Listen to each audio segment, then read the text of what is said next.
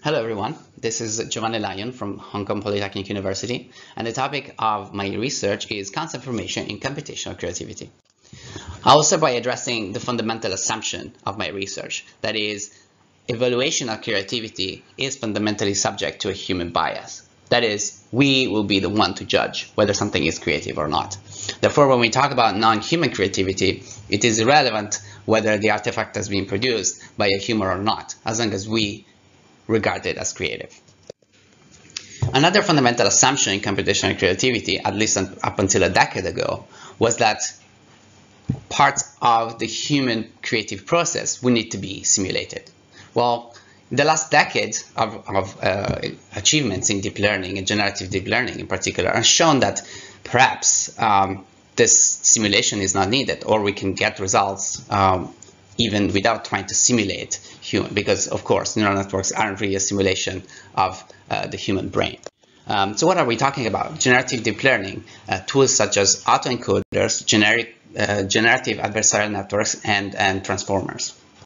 So what exactly do these neural networks learn? Because of course they learn from large data sets and they would naturally learn the biases of these data sets. Um, we don't know exactly how this information is stored. There is no way for uh, this network to uh, do any symbolic reasoning. And, and also it's hard to transfer knowledge from one network to another. And so this, these questions brought me uh, to, to, to dig deeper into what concepts actually are. And, and so I went into the literature review um, looking at concept ontologies, that is theories of concepts um, that are able to describe phenomena related to concepts. Uh, turns out the last 60 years uh, of research in this field has, has produced up to even five big categories of theories. Uh, the main one being classical theory and uh, a big opponent that uh, in the 70s was a prototype theory, which stemmed from psychological uh, uh, experimental psychology research.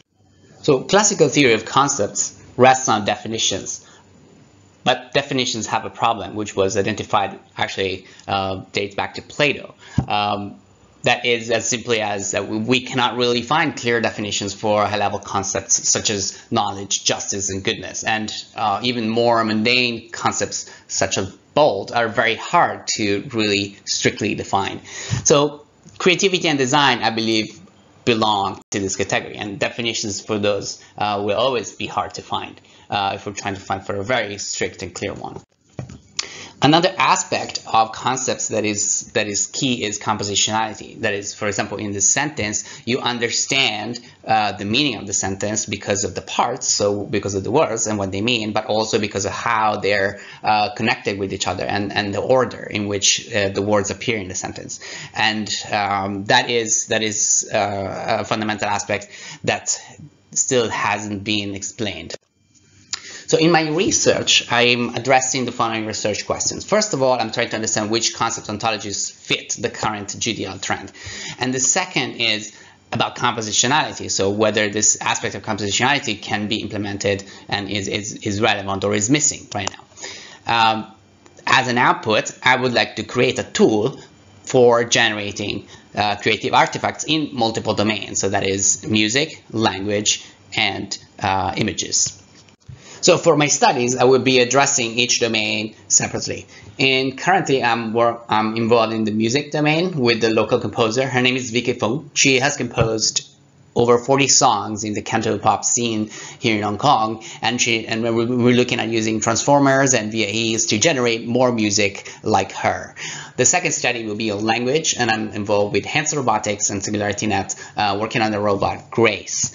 Um, the third study will be on images, but it's yet uh, yet to be defined.